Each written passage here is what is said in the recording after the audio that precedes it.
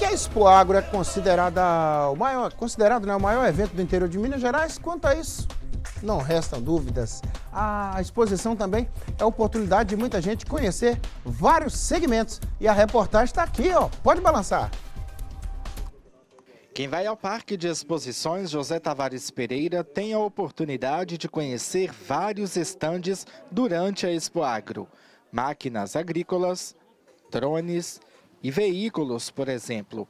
Em meio ao maior evento agropecuário do interior mineiro, também é possível conhecer as obras de artistas plásticos da região do Rio Doce. É muito importante a participação dos artistas plásticos da nossa cidade para mostrar pelo menos alguns, alguns trabalhos né, deles, porque é, a nossa galeria de arte ainda não ficou pronta. Então, é uma exposição agropecuária é uma boa oportunidade para a gente poder mostrar o trabalho. O que também não pode faltar é o concurso de equinos da raça manga larga machador, uma das principais atrações da Expo Agro. Além de veterinário, o Plínio é jurado. Ele explica que os animais são avaliados em campeonatos.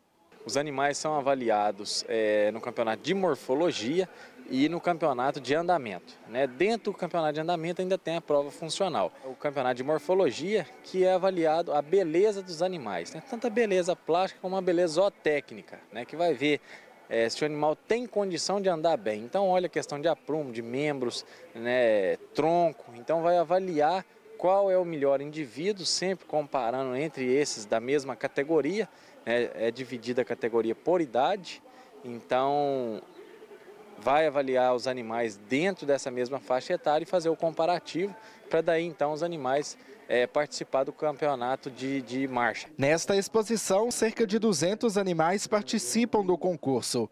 Segundo a União Ruralista Rio Doce, a expectativa é que 200 mil pessoas passem pelo parque até o fim das programações, domingo, dia 16. Obrigado aí, Miguel. Viva a Expo Agro, né?